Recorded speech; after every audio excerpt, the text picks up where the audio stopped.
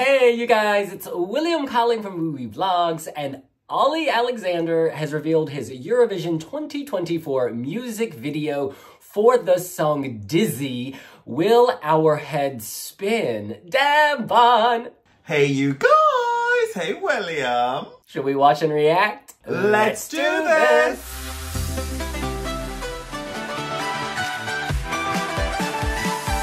The hype for this has been building for months. Olly was, of course, the frontman for years and years, but this song is his moment to start releasing music under his name. No longer years and years, this is from Olly Alexander. Hitting play.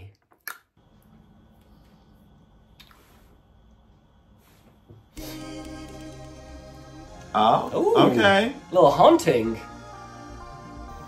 He's my favourite pocket-sized fairy. Amazing. Beautiful man. He's a dreamer. Giving me Dorothy from The Wizard of Oz. Arching that back? Mm. This is dreamy.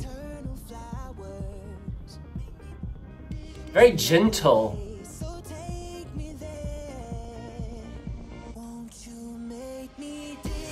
Oh, okay, we're right into Oh, it. this music video is so expressive. Very Pet Shop Boys.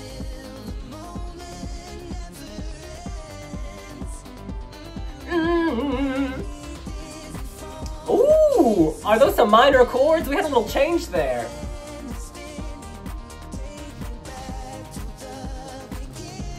Got a swirling feel. Like, This sounds quite Australian to me. Very Savage Garden, Darren Hayes kind of vibes. oh. I like it. But also very Oh, years wow. and years. The production is really interesting. And we're back into it just like that. Our man is playing in the dirt, playing in the sand, house to playground. This is very cool staging. Oh. That was a crotch shot. Oh, booty Oh, I like this. I like the choreo. It's almost broken down.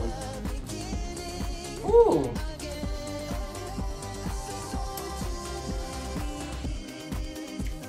Oh, wow. Danny L. Harle. Woo! Love that English accent. Oh, that Ah. body popping, body breaking. This is interesting right here. I like how haunted this sounds.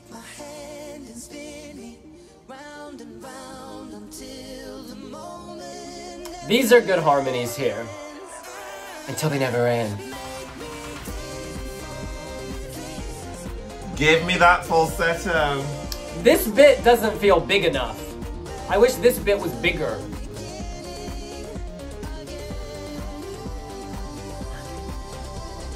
Like they're getting electrocuted. Again! Oh, and that's over. How long was that? Oh, wow. Look, that didn't feel like three minutes. That did not feel like three minutes, and to me, that is a good sign. Um, yeah, where to start? So, this is a very gentle love song, right? Not all love songs have to be, yeah, yeah, woo, Whitney Houston. No, this is like a song filled with yearning. He wants to be made dizzy by someone's kisses. And it has this pull along feel, sort of the way it's produced pulls you along the whole time. And it's very pleasant. And sometimes I use that as an offensive term like vanilla, but this has its edge because it's not really predictable. I feel like we get into the chorus straight away, and then we're back into the chorus like very quickly. And then we have this I don't want to, it's not spoken word, but there's that spoken section where you've got Olly in the background saying his thing, doing his thing, letting it loose, working the lip. I think about RuPaul's Drag Race, tight lip sync. But you know what I mean? It's like very effectively layered. I guess that's what I'm trying to say. It doesn't follow a predictable path. and it's layered in a really interesting way. Um, those harmonies here sound quite nice. Full disclosure, I always feel a little uh at Eurovision when we have those types of harmonies like live. Sometimes harmonies sound better in studio than they do live, and I don't mean about vocal perfection. It's just I like the electronic vibe of this, and I do wonder how do you translate that to the stage. Um, in any case, yeah, this is again very pleasant. It's loopable. This should be a radio hit. I quite like it. Now, in terms of the competition, this is another matter, right? Because songs that are great for the radio or streaming don't always translate to the stage. So, I mean, this is to be seen. I like the choreo for the video, but it's also very mismatched. Like, I don't know, not everything has to be tortured. To me, the dancing is almost too much, but not enough, if that makes sense. Like, there's a lot going on. At one point, he's like Smeagol in that movie, Lord of the Rings, kind of crawling in the dirt. Um, I am in no way underwhelmed. I am not underwhelmed, but I guess my concern is, would I be motivated to pick up the phone and vote for this?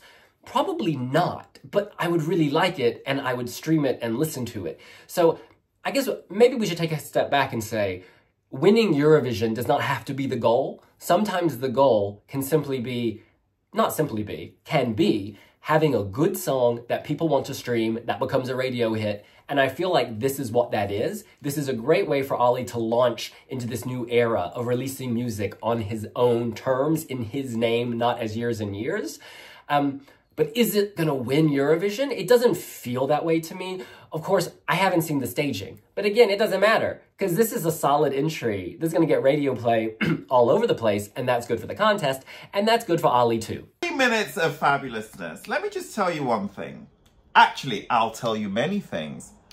What makes Olly Alexander so amazing is that he understands expression, right? This is a man who has been in a major TV series, It's a Sin, kind of just basically executing the sentiment in the LGBT community throughout the 80s and the 90s and just kind of just putting it out there, bearing his soul. He is expressive we are getting movement here too, right? My man can move, he can morph, he can shapeshift.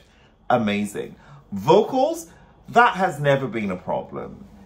Three top three albums, two of which were number one, can I just say? I mean, Communion, Palo Santo, what's the one I love? Night Call, his most recent work, which was released in 2022. Amazing.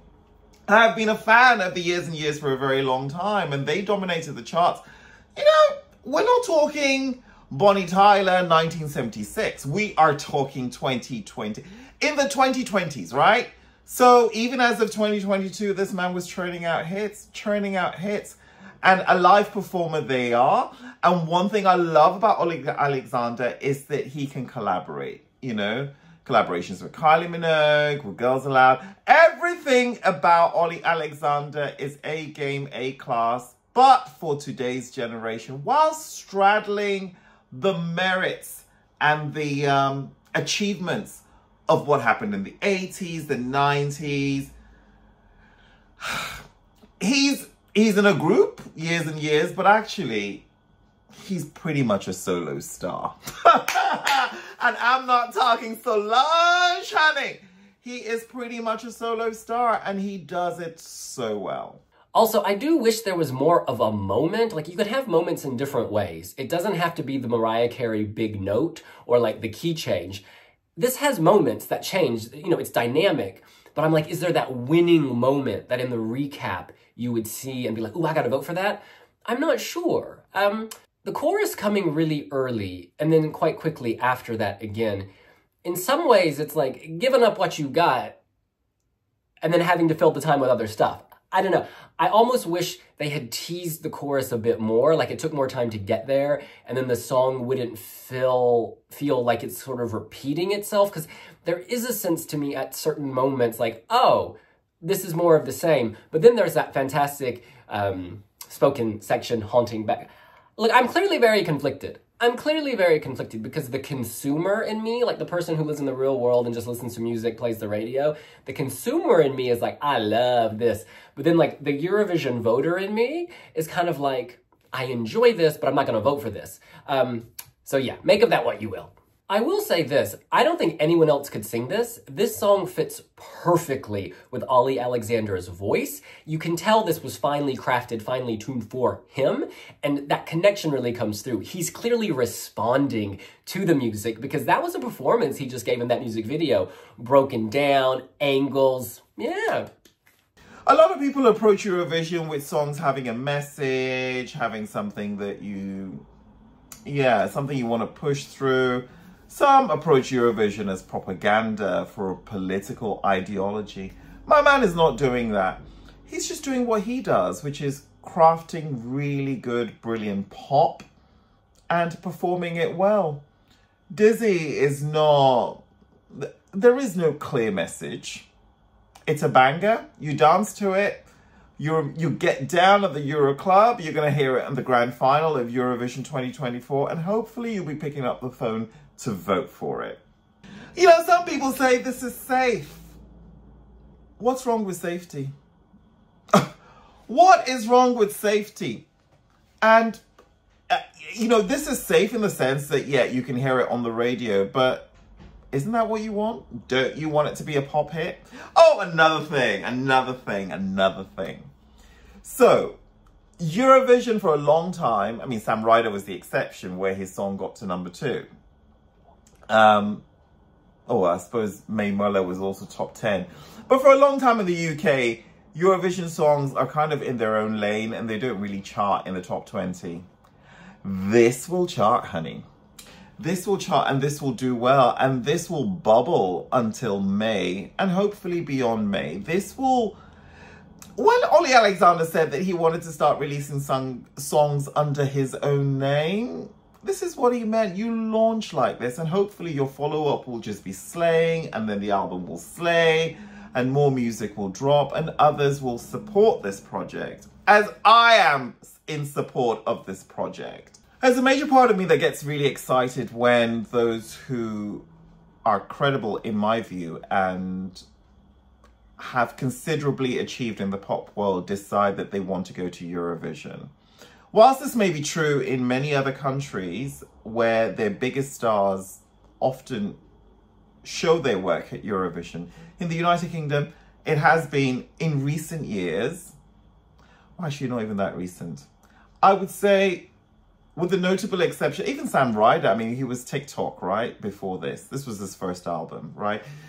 A lot of stars in the UK shy away from Eurovision because they feel that it could signal the end of their career. Well, Olly Alexander is a different breed. This is somebody that has achieved three top three albums, lots of singles that have gone gold and platinum. He is slaying in the festival circuit, singles chart, album chart, and still goes into Eurovision believing that yeah, he's excited about it. This is not, oh, we would like you to. This is like, oh, I would like to do this and I'm really excited. When he broke the news at Strictly, there was just excitement. There was pure joy. There was ecstasy about it. And I love that. I love that. This is a contest that is very dear to me. I have loved Eurovision for a long time and I'm excited when somebody that I like also likes Eurovision. And, you know, Olly Alexander is treating this as an opportunity, bringing his fan base with him. Yeah? I absolutely love this. I want to read some comments from the Wiwibloggs website. Lean Dirt Jan says, I don't know if I was expecting too much because I really like Years and Years. My first impression is that I'm slightly underwhelmed because I don't really hear anything fresh. I like the synth vibe, very British 80s, and the start is promising, but the chorus feels thin, unsurprising, and there's too much of it. I was hoping for something more striking, I guess. They'll probably throw a lot at the staging, and Olly is very experienced, but this doesn't scream contender to me. This is Itchy Monkey. UK, listen up. You need to shift the music pattern over the coming years to more complex artistic songs than sticking with the standard 90s bop. They don't work. Rock it up or do something, but no more pop. Despicable Annie says, the song is nothing special, but at least it'll be easy to sing for Olly. Considering his shortcomings with live vocals, it'll hugely depend on the performance, but I don't think the UK's result will be as amazing as many expected. Pink Bucket Hat says, the bit in the chorus where it goes from minor to major at the end is so awkward. I kind of liked that. I thought it gave an edge. Ted says, How much can you cram into a three minute song? Obviously, the verses have been sacrificed. That second one in particular is a mere cameo. The chorus will be one that either sticks in your head to hum all day or becomes so annoying, especially that irritating, mm, which is already rubbing me up the wrong way. I'm here for the spoken bridge, love that part. How he performs that part live has a question mark over it for me as it goes straight into the a cappella chorus. Flo says, It's quite monotonous, and I feel like I have already heard everything the song has to offer after the first 20 seconds. I don't like to say it, but I Wrote a Song was a much stronger entry, and we all know how well that did at Eurovision. Luke says, Defo top 5 finish, surely. So well produced and such a banger. Scotty writes, doesn't seem fair that the UK always faces harsher criticism than other countries in Eurovision. The fact Olly Alexander is a well-established, internationally known and current artist that has a track record of charting well in this country automatically means he deserves no lower than a top 10 position. Someone of that caliber shouldn't be finishing any lower. Okay, now, Scotty, I do agree that sometimes the UK gets extra harsh criticism. At the same time, I don't think you vote on reputation. You vote on the song and the performance on the night, but I do believe Olly will pull this off. Dicky writes, just heard the track and I'm happy. It's actually a very sweet love song, a soft yearning and gentle refrain that will contrast with some of the darker and more edgy songs this year. I was expecting something a bit more epic perhaps, but this is great and it's already in my head. Well done, Olly. Kenny Koala Bear says, I really like this. It's a fantastic, catchy tune. I hope it does well. However, personally, I prefer the zaniness of the code by Nemo, which was released yesterday. A lot of love for Switzerland in the comments here. Leanne writes, Of course, Years and Years did not disappoint. What a banger. Well, that's what we think. What do you think? Is your head spinning and are you dizzy? What suggestions do you have for the live performance? What do you hope to see? Let us know here on Wiwibloggs. The one question I do have though is Olly Alexander on Pinterest? Because if he if he is on Pinterest, he needs to unveil his mood board. And while you're at it, follow Wee Blogs on Pinterest and we will see you later. Bye! And we'll see you later. Bye!